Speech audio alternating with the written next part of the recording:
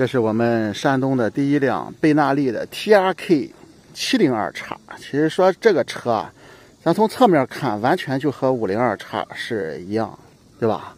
然后你从正面看，确实是有小七五零的那个影子。这款车啊，车主好像已经骑了两百多公里了，据说这个油耗还不错。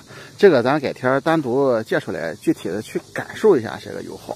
今天说说这个车呢，哈，它的一些给我看出来的一些不同之处。首先说，你像它的这个箱子啊，和我那个五零二其实是通用的，也是成威的贴牌的这么一个箱子。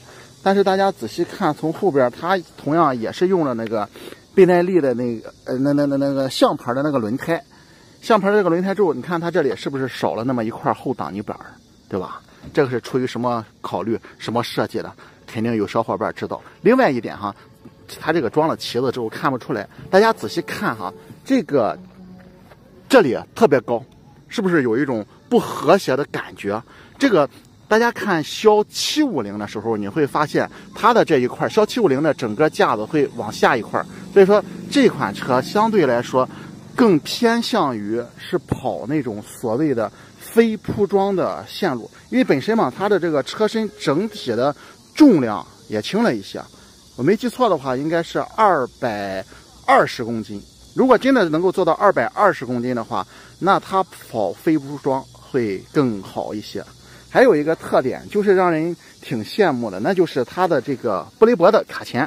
我记得肖七五零也是布雷博的卡钳，包括肖五百也是布雷博的卡钳。但是如果说是那个贝纳利的五零二叉，依然还是用的西护的刹车。刚才试了一下哈。在手感方面，这个布雷伯的这个手感确实是要更舒服一些。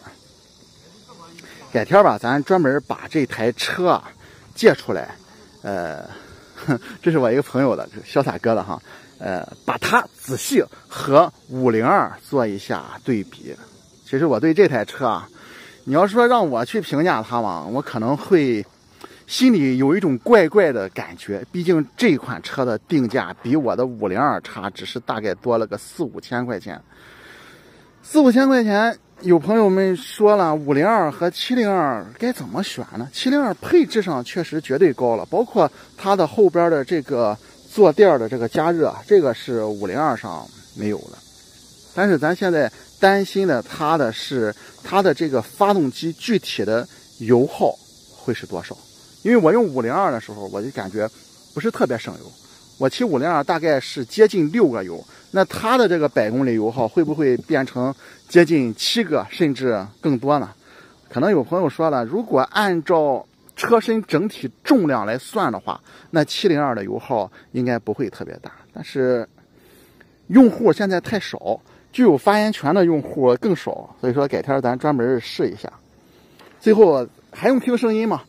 这个虽然外观和骁七五零一样，但是这个发动机启动之后的那个声音绝对不会像骁七五零那么，就像一个炒炒所谓的炒沙子的声音，这个不会的哈。这个那次咱上市发布的时候，咱专门听过这个声音。有朋友说这个声音不好听，不好听，那分和谁比？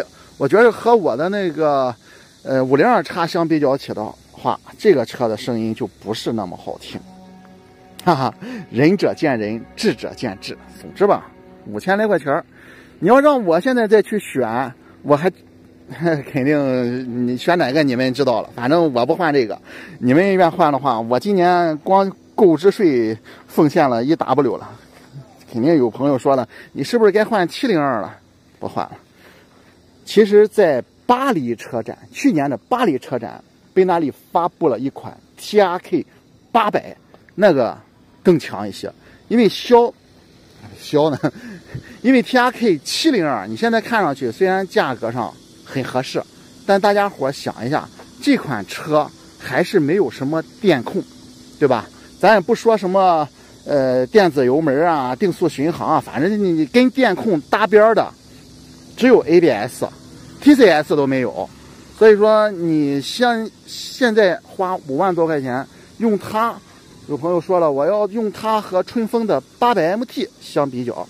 但是大家伙想一下，八百 MT 虽然很不稳定，但是就是它不稳定的一个很重要的原因哈，就是它某些电控方面不是特别稳定。